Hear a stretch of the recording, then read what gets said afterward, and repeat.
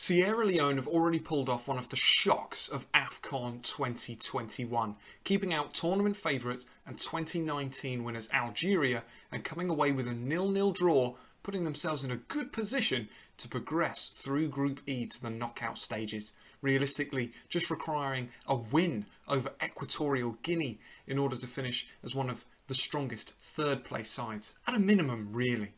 But how did they do it? And hold on a second, is that Steven Caulker? Anyway, how is it that a side ranked 108 in the current FIFA World Rankings were able to pull off such a fantastic result?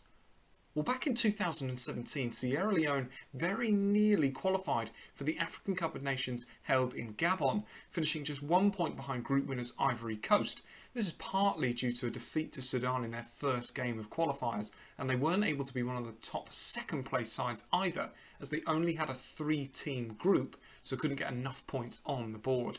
Now, in 2018, the Sierra Leone Football Association was suspended by FIFA and so banned them from the 2019 African Cup of Nations, which, as we've already said, Algeria ultimately went on to win.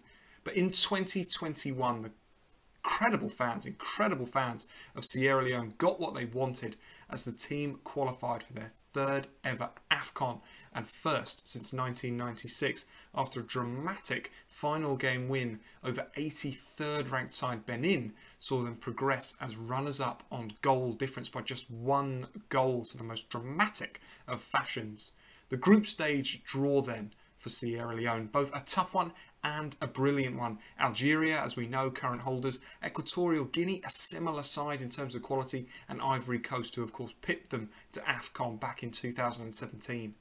So who are these brave warriors then of Sierra Leone who have been through thick and thin to reach these dizzy heights? Well, one of my favourite things about this side is just how many players represent sides in the Sierra Leone National Premier League, with almost half of the squad playing domestically in the country, something quite rare now for the African Cup of Nations. The players making all the headlines at the moment, in particular, of course, the goalkeeper Mohamed Kamara, who plays for East End Lions in Sierra Leone and was awarded man of the match for his brilliant shift against Algeria, a truly fantastic performance. In addition to this, they boast talented players from across Europe, most famously Kei Kamara, who scored over 100 goals in the MLS and is just one goal away internationally from being Sierra Leone's all-time top scorer at the ripe old age of 37. Still out there, it's fantastic to see. But the squad does have real, real talent. Alhaji Kamara of Randers, five goals in seven caps, top striker. Osman Kakay of QPR in the Championship, captain and all-time cap leader Umaru Bangura, who represents the Swiss side Neuchâtel, and of course, as we've mentioned, Steven Caulker, who's represented Team GB at the Olympics, England in a friendly. He was then eligible to play for Scotland, but now will finally have the international football that he's worked so hard for for the national side of his paternal grandparents. And he's often provided a lot of charitable support in um, in Sierra Leone as well. So it's fantastic to see him at AFCON making his debut for the side. All of this talent and togetherness is harnessed by former Sierra Leone international John Keister, who made over 400 career appearances domestically and will be looking to write himself into the history books with a strong African Cup of Nations.